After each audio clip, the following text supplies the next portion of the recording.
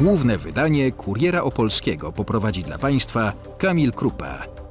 Dobry wieczór, poniedziałek 18.30. Czas sprawdzić, co działo się dzisiaj w naszym regionie. Zaczął mnie dusić aż tak mocno, że, że już, już myślałam chyba wtedy, że to jest koniec. Kłótnia małżonków zakończona oskarżeniem o próbę zabójstwa. Sporo. To uważam, że bardzo dużo. W brzegu będzie podwyżka za wywóz odpadów. To są żółwie obrzeżone, największy i najładniejszy gatunek europejski najrzadszy też. W Ciepielowicach z jednego jaja wykluły się dwa żółwie.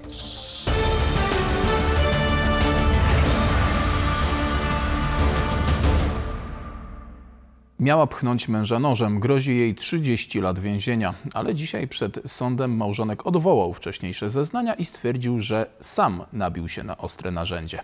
Kobieta przez cały feralny wieczór miała być maltretowana. Sprawie przyjrzał się Wojciech Bulasz. Jedyną niekwestionowaną prawdą w tej całej historii jest to, że Sebastian K. został raniony. Ugodziła go jeden raz nożem w klatkę piersiową, czym spowodowała powstanie obrażeń w postaci rany kłutej klatki piersiowej w linii przymostkowej prawej z odmą opłucnową prawostroną. Z akt prokuratury wynika, że wcześniej Iwona K. pokłóciła się ze swoim mężem. W trakcie awantury poprosiła sąsiada o interwencję. Mężczyźni pobili się i w trakcie bójki kobieta miała zaatakować męża. Wzięła z kredensu pustą butelkę po wódce i uderzyła mnie w łuk brwiowy. Sąsiad miał się wtedy wycofać, jednak to nie zakończyło dramatu. Chwyciła do ręki nóż, podeszła do mnie, powiedziała: Masz ty. I dźgnęła mnie tym nożem w klatkę. Dziś kobieta nie przyznała się do winy. Jak tłumaczyła, w trakcie kłótni mąż ją maltretował. Wykręcał jej rękę, którą wcześniej miała złamaną, wylał jej na głowę alkohol i dusił. Zaczął kopać mi po nodze.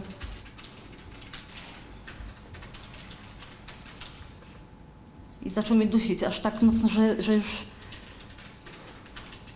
już myślałam chyba wtedy, że to jest koniec. Swoje zeznania co do dźgnięcia nożem zmienił dziś także Sebastian K., który do sądu przyjechał z zakładu karnego. Ona wtedy w nerwach chyba chyciła nóż i chciała się pociąć. Ja chciałem podejść do niej i go wyrwać. Się potknąłem i nadziałem się na ten nóż. Mężczyzna tłumaczył, że wcześniej oskarżył żonę o pchnięcie nożem, bo miał do niej żal. Jednak biegły z zakresu medycyny sądowej nie dał wiary, że poszkodowany sam nadział się na nóż. Podtrzymuję wnioski do opinii w całości.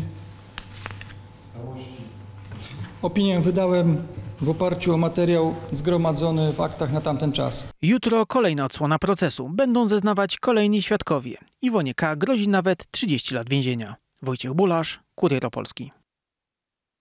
Ceny za wywóz śmieci znowu w górę. Tym razem w brzegu. Mieszkańcy od 1 sierpnia zapłacą 27 zł od osoby, pod warunkiem, że będą segregować odpady. Czy to drogo i jak jest w innych miastach, sprawdziła Izabela Zapisek.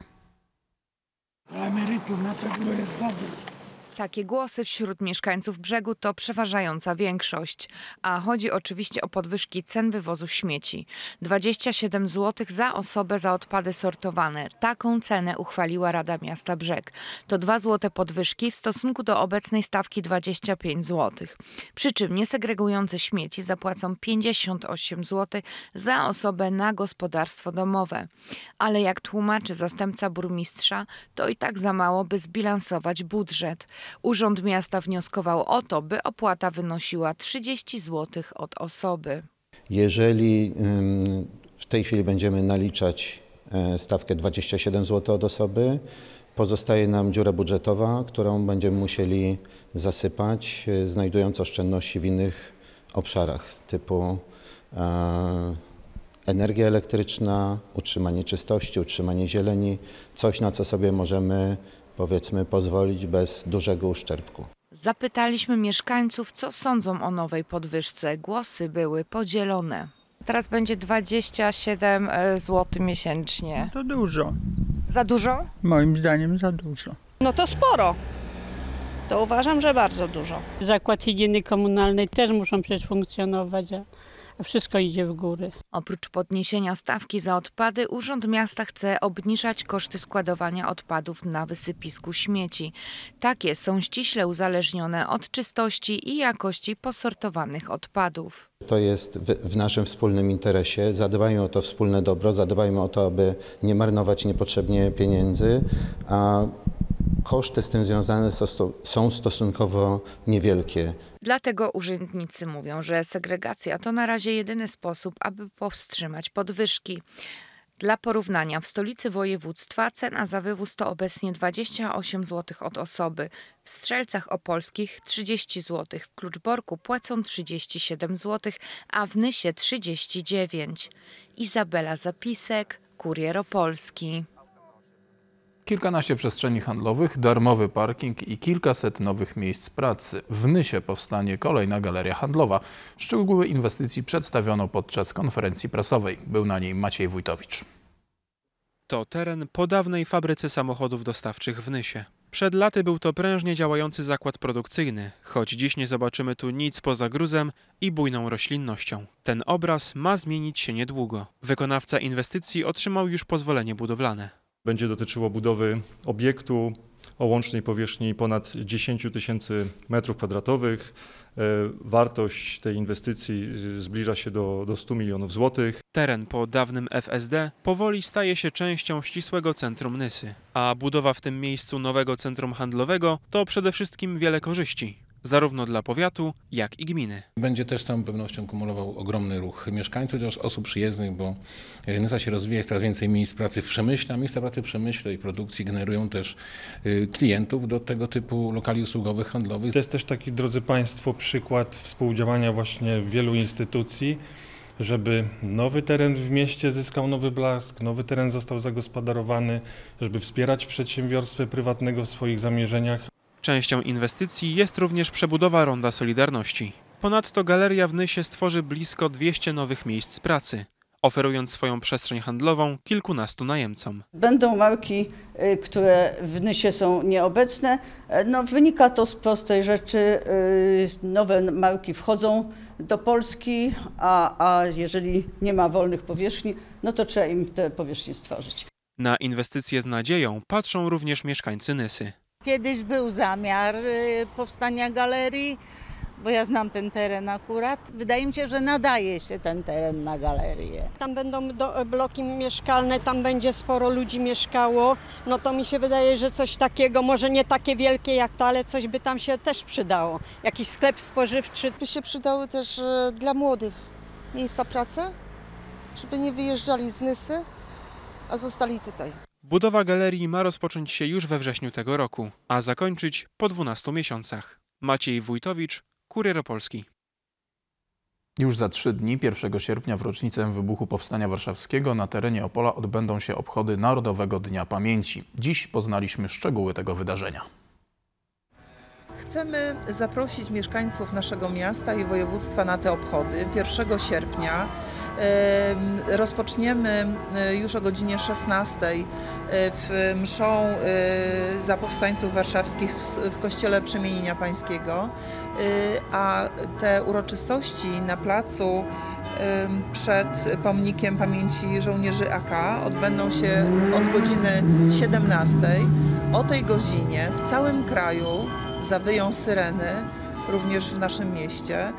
Y, To jest ym, umówiony taki hołd, który oddamy pamięci powstańców. Swój udział chcielibyśmy zaakcentować podwójnie. Oczywiście będę tam uczestniczył w tych uroczystościach, żeby w, w imieniu naszej wspólnoty regionalnej e, oddać hołd tym wszystkim ofiarom i tym, którzy e, 80 lat temu podjęli tę heroiczną walkę z okupantem, ale też e, będziemy w postaci nieco bardziej luźnej, ale też niezwykle dobrze sprawdzającej się.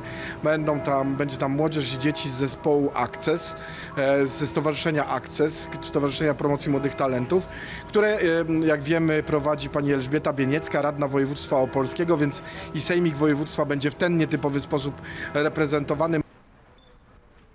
Tymczasem trwają Igrzyska Olimpijskie w Paryżu, a to wyśmienity czas, aby poznać niektórych sportowców z naszego regionu z nieco innej strony. Siatkarską Opolszczyznę reprezentuje na imprezie we Francji m.in. Bartosz Kurek. Kapitana naszej kadry z pewnością dobrze zna jeden z zawodników PSG Stali Nysa. Rozmawiał z nim Krzysztof Kostęcki. Wspólne sportowe dzieciństwo to łączy mojego gościa i kapitana reprezentacji Polski Bartosza Kurka. Ze mną Patryk Szczurek, zawodnik PSG Stalinysa, którego nie sposób na początek nie zapytać, od czego tak naprawdę wasza wspólna droga się zaczęła. E, Witam wszystkich. E, Dokładnie tak, nasi rodzice grali razem, e, ojcowie, nie rodzice, grali razem w Stali Nysa, przez co znamy się naprawdę od dziecka. E, I wspólnie z Bartkiem nasze pierwsze kroki siatkarskie stawialiśmy w przedpokoju balonem, grając w siatkówkę. Naśladowanie ruchów tego, co widzieliśmy na meczach e, naszych rodziców. Później zaczęliśmy uczęszczać e, na jakieś zajęcia sportowe, gdzieś na WF-ach. Później zapisaliśmy się tutaj do klubu siatkarskiego w Nysie. I tak pomału tymi małymi szczeblami wspinaliśmy się po kolei, po kolei. No Bartek jest trochę wyżej, ja na razie patrzę na niego z dołu i życzę mu z całego serca, bo wiem jak bardzo mu na tym zależy, żeby zdobył ten upragniony medal olimpijski. Z tego co patrzyłem, między wami są 3 lata różnicy i to chyba nie jest dużo, jeśli chodzi o takie dzieciństwo i o taką rozwijanie wspólnej pasji. Dokładnie tak. E, jeszcze fajnie, bo mieszkaliśmy naprawdę kilkanaście metrów od siebie. Na jednym osiedlu się wychowaliśmy, także było nas tam e, wielu, e, takich, którzy chcieli bawić się w siatkówkę, graliśmy na trzepaku. Bartek był zawsze najwyższy z, nas wszystkich, z, z rówieśników. No, ale nie graliśmy tylko w siatkówkę. Pamiętam Bartka, jak biegał w koszulce Davida Beckhama i robił te wrzutki popularne wtedy. Bawiliśmy się jak dzieci wtedy. Wchodziliśmy po rynnach, po dachach różnych budynków.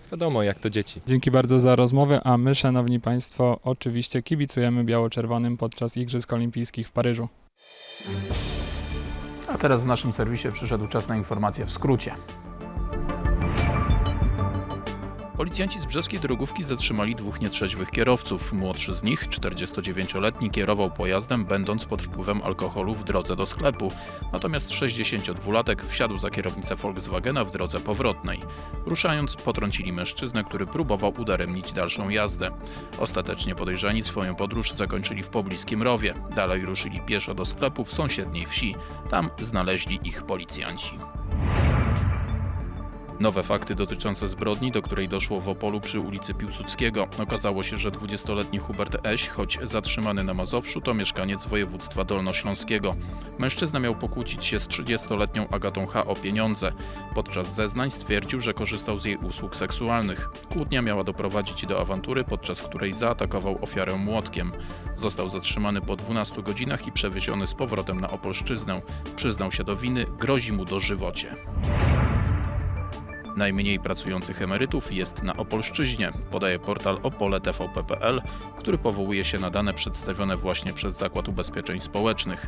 Wynika z nich, że każdego roku w Polsce coraz więcej osób powyżej 60 i 65 roku życia, odpowiednio dla kobiet i mężczyzn, podejmuje zatrudnienie, będąc już na emeryturze.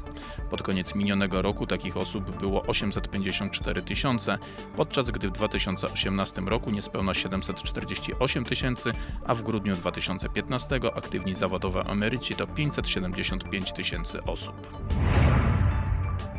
Kierowcy, którzy podróżowali dziś opolską A4 w kierunku Wrocławia musieli swoje odstać, a to z powodu kolizji trzech samochodów osobowych, którymi podróżowały cztery osoby. Do zdarzenia doszło między węzłami Krapkowice a Kędzierzyn-Koźle. Korek miał w kulminacyjnym momencie długość 12 kilometrów.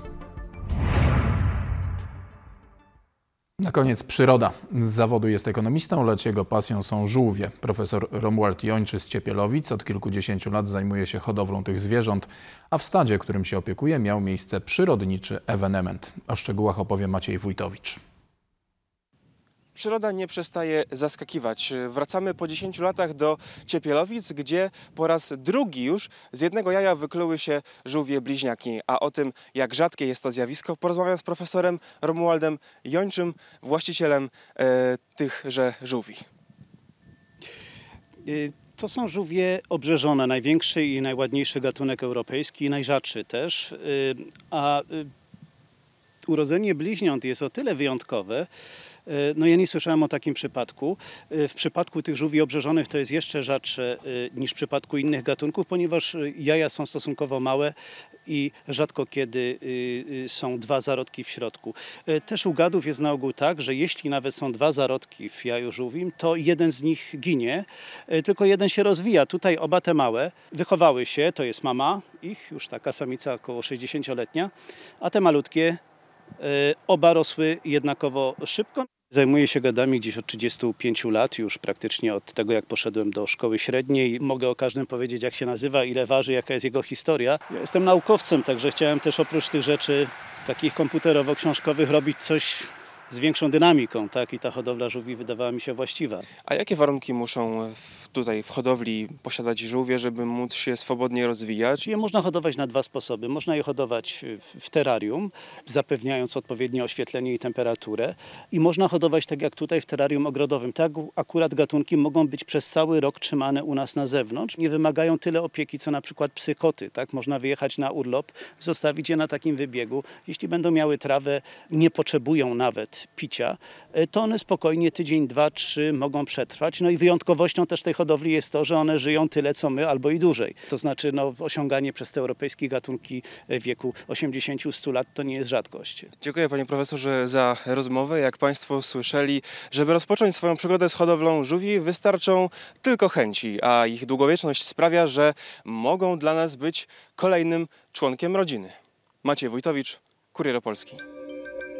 Tą relacją kończymy główne wydanie Kuriera Opolskiego. Za chwilę prognoza pogody i rozmowa dnia. Będzie mowa o zagospodarowaniu odpadów w naszym regionie. Serdecznie zapraszam. Wieczorny Kurier o 21.30. Dobrego wieczoru i do zobaczenia.